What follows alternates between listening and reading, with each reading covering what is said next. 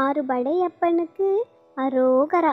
என் அன்பு குழந்தையே ஏன் இப்படி மனமுடைந்து உட்கார்ந்து விட்டாய்? உன் கவலைதான் என்ன? என் கண்களை உற்றுப்பார் மனம் விட்டு பேசு. நானும் உன்னிடம் பேசுவதை நீ உணருவாய்.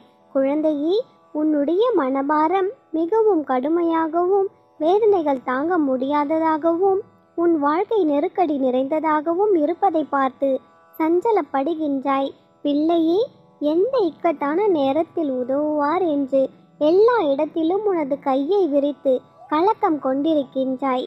துக்கமும் துயரமும் இப்பொழுது உன்னை அழுத்திக் கொண்டு இருக்கிறது. இதிலிருந்து எழுந்து வர முயற்சி செய்து கொண்டிருக்கின்றாய்.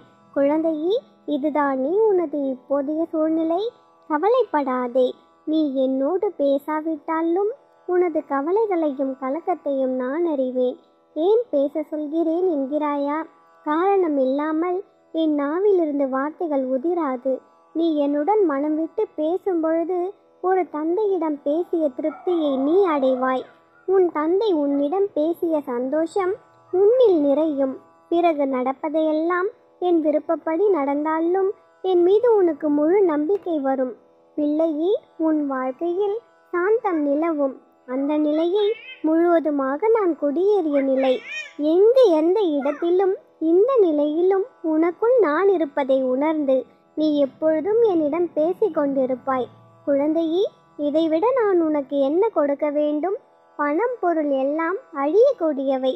இந்த ஆன்மீக சந்தோஷம் மட்டுமே உனக்கு நிலையான சொர்க்கத்தை தரக்கூடியவை. என்னை நீ உணர ஆரம்பித்து விட்டால் உனது உடைந்து போன மனம் உறுதிப்பட ஆரம்பிக்கும். பிள்ளையே உனது பிரச்சனைகள் எல்லாம் சர்வ சாதாரணமாக கடக்கும் நிலைக்கு நீ வந்து விடுவாய். உனது அத்தனை குழப்பங்களுக்கும் தெளிவான விடை கிடைக்கும். உனக்கு நிச்சயம் நல்லதே நடக்கும். வெற்றிவேல் முருகனுக்கு அரோகரா அரோகரா அரகரோகரா.